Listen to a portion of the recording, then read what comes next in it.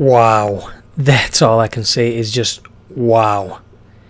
He, uh, that's why one of the reasons why I like this sport because you you never know what the hell's gonna happen. Uh, Demian Maia went for a takedown. Uh, Carlos kind of does not have very good takedown defense, and that's that's all she wrote.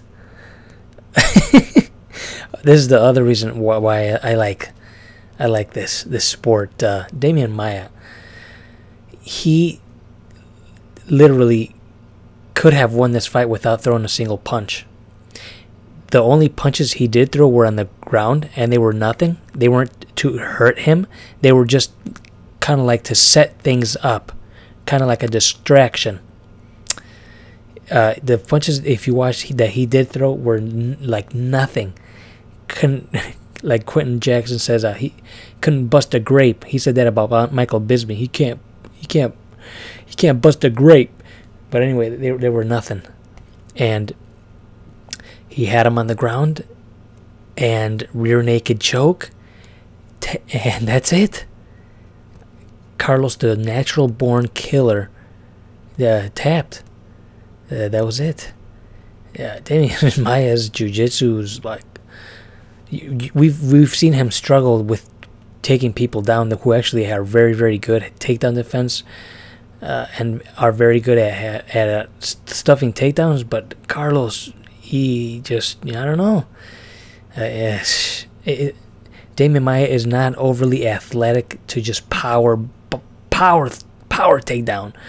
It's just uh, weird positioning for Carlos Condit, I guess. Uh, she, wow, still in, in shock because you know it's actually very, very, very, very rare for us to see something like that, where barely a bun- a punch is thrown, and a fight ends so quickly. Demian Maia gets the takedown, gets the back. Oh, if he has your back, oh boy, and Carlos couldn't defend it, and he tapped. And much respect to these guys. These guys are respectful, both of them.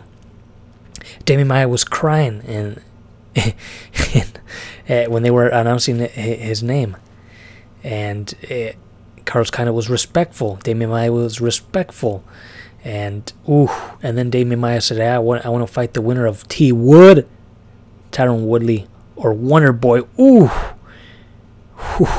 you want to talk about two two guys who could f you up a million ways standing up. he said, I want to wait the winner. If that's if they give him a title shot. You guys know what the UFC they do whatever the f they want, dudes. And so, sometimes waiting is not good. Uh, I think T Wood knows about that as well. um, but he, he did wait. But anyway, Dam- Demian Maia, wow. Uh, very, very, very impressive win. It took him out ASAP, barely landed a punch, and that was it. World class jiu jitsu. World class.